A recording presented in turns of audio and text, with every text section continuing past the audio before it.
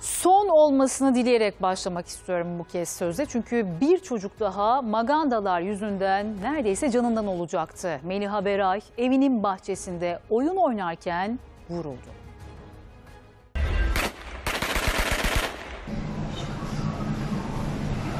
Birden çocuğun bağırma sesiyle yanına koştuk. Çocuk e, olduğu yere yığıldı ama ayıktı yani hala. Biz bir şey battı ya da bir demir parçası falan girdi sandık. Yorgun mermi evinin bahçesinde oynayan Meliha Beray'ı hastanelik etti. Artık korkuyorlar. Sitede şu an hiçbir çocuk aşağıya inmiyor. Adana Seyhan'da yaşayan 6 yaşındaki Meliha Beray Ergün arkadaşlarıyla oynarken bir anda yere yığıldı.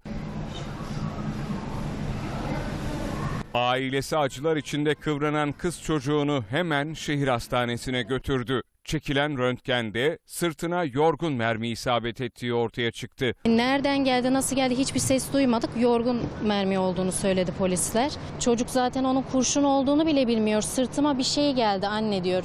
Böcek ısırdı diye bize e, anlatıyor olayı. Meliha Beray'ın böcek ısırığı sandığı kurşun ameliyatta çıkarıldı. Ölümden dönen kız çocuğunun annesi şehir magandalarına isyan etti.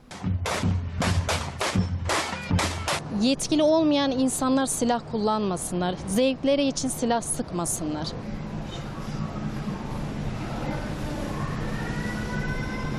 Bu görüntüde Sakarya'dan 47 yaşındaki Hakan Mutlu arkadaşlarıyla çay içerken kürek kemiğine yorgun mermi saplandı.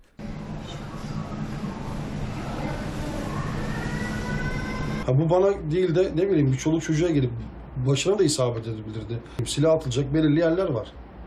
Gidip orada denesinler yani bence silah atışlarını. Adana ve Sakarya polisi biri çocuk iki kişiyi ölümle burun buruna getiren magandaların yakalanması için harekete geçti.